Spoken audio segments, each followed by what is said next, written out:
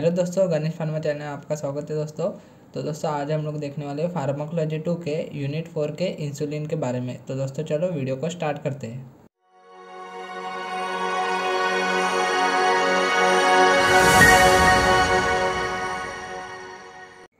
तो दोस्तों, डायरेक्ट आपको एग्ज़ाम में नोट ऑन इंसुलिन ऐसा क्वेश्चन आएगा तो आपको आंसर की स्टार्टिंग कैसे करनी है? Insulin is polypeptide having 51 amino acid and molecular weight about 6000 then A chain is acidic and having 21 amino acid and B chain is basic having 30 amino acid तो दोस्तों, मिला के कितने हो गए? 51 this A and B chains are join together by disulphide bond दोस्तों, ये आपको एम सी क्यू में पूछ सकते हैं कि ये ए एंड बी चेन्स किससे ज्वाइन होते हैं? देन दोस्तों, देखेंगे biosynthesis and storage of insulin it is synthesize in beta cells of Langerhans of pancreas as pre pro insulin and convert into the pro insulin this pro insulin is then convert into the insulin and store in secretory granules तो दोस्तों, सबसे पहले insulin pre pro insulin में secrete होगा तो उसके बाद ये कन्वर्ट होगा pro insulin and finally insulin में एंड स्टोर होगा देन सिक्रेटरी ग्रैनुल्स में. देन दोस्तों देखेंगे regulation of insulin secretion partial depolarization causes increase intracellular level of calcium तो दोस्तों डिपोलराइजेशन के वजह से क्या होगा?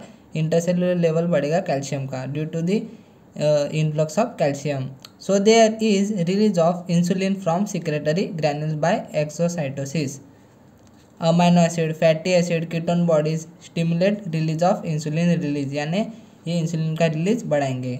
Oral intake of glucose stimulates more insulin release than IV glucose injection दोस्तों नेक्स्ट पॉइंट है beta adrenergic agonist such as adrenaline increases insulin release by increasing intracellular cyclic AMP then next point है glucagon stimulates release of insulin Adrenergic alpha 2 receptor agonist decreases insulin release by inhibiting beta cells then दोस्तों next point है factor affecting insulin release factor those cause stimulation of release of insulin glucose glucagon cyclic AMP corticosteroids and leucine then दोस्तों factor those inhibit release of insulin starvation phenytoin drug then diazoxide then potassium deficiency then दोस्तों, देखेंगे mechanism of action of insulin insulin act by binding with several insulin receptors present on cell membrane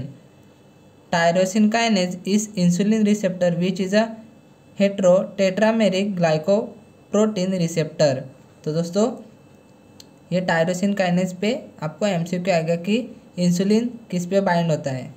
then दोस्तों which made up of two extracellular alpha and two two beta sub subunits?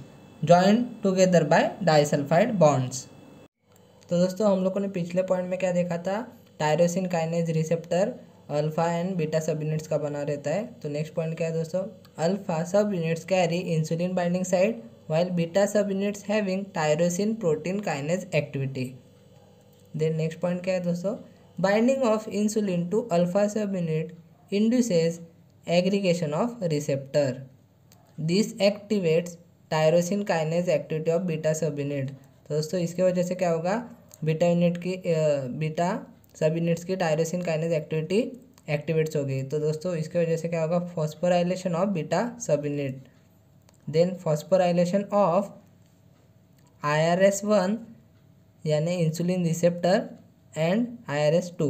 तो दोस्तों I R S one से क्या क्या होगा? इसके phosphorylation की वजह से it is responsible for proliferation and differentiation of cells मतलब growth rapid growth and rapidly differentiation of cells and next क्या है दोस्तों? To regulate DNA synthesis and IRS two का काम क्या है दोस्तों? रेगुलेशन ऑफ़ जीन ट्रांसक्रिप्शन यानी दोस्तों आरएनए का फॉर्मेशन होगा from DNA and increase the glucose and glycogen uptake then दोस्तों, देखेंगे हम लोग फार्माकोलॉजिकल एक्शंस ऑफ़ इंसुलिन दोस्तों फ़र्स्ट इज़ कार्बोहाइड्रेट मेटाबॉलिज्म के बारे में। दोस्तों इन लीवर क्या होगा? स्टिमुलेट्स ग्लाइकोलाइसिस यानी ग्लूकोज का ब्रेकडाउन एंड ग्लाइकोजिनेसिस यानी ग्लाइकोजन का synthesis then it inhibits glycogenolysis यानी ग्लाइकोजन का ब्रेकडाउन लाइसिस यानी दोस्तों ब्रेकडाउन होता है एंड ग्लाइको लिखा है इसलिए ग्लाइकोजन का है।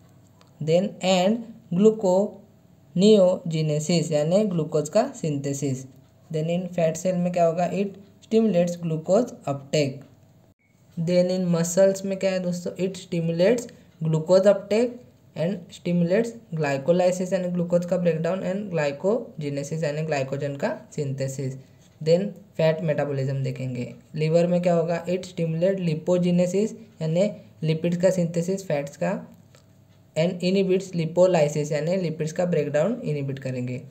देन इन फैट सेल्स में it stimulates triglyceride synthesis stimulate fatty acid synthesis and decrease the lipolysis then protein metabolism liver में क्या होगा? Decrease the protein metabolism and in muscle में क्या होगा? Increase amino acid uptake and increase protein synthesis then दोस्तों देखेंगे adverse effect of insulin hypoglycaemia या आप लिख सकते हो सीवियर हाइपोग्लाइसेमिया यानी ज़्यादा ही ब्लड शुगर लेवल लो हो जाएगा।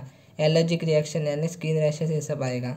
Obesity then oedema then insulin resistance then palpitation anxiety and weakness दोस्तों नेक्स्ट पार्ट क्या है? Uses of insulin in diabetes mellitus then schizophrenia इसके सिम्टम्स क्या क्या है? इल्यूजन्स डिल्यूजन्स हेलिसिनेशन यानी दोस्तों पेशेंट इमेजनरी वर्ड्स में चला जाएगा।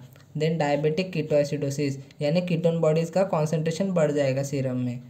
देन हाइपर कलेमिया यानी पोटेशियम का कॉन्सेंट्रेशन बढ़ जाएगा एंड इन डायग्नोसिस देन दोस्तों एडीएम यानी pharmacokinetic properties it given subcutaneously to give sustain action well absorb and distributed metabolize in liver and excreted in urine then urine का classification short acting soluble insulin regular insulin and neutral insulin then दोस्तों intermediate acting isophane insulin insulin zinc suspension then दोस्तों last is long acting crystalline insulin दोस्तों, ये note आपको insulin का आ सकता है। दोस्तों, इसके चांसेस आने के ज़्यादा है, क्योंकि ये दो तीन सालों से रिपीट नहीं हुआ है क्वेश्चन तो दोस्तों, अगर आपको वीडियो पसंद आया दोस्तों तो वीडियो को लाइक शेयर एंड चैनल को सब्सक्राइब ज़रूर करें।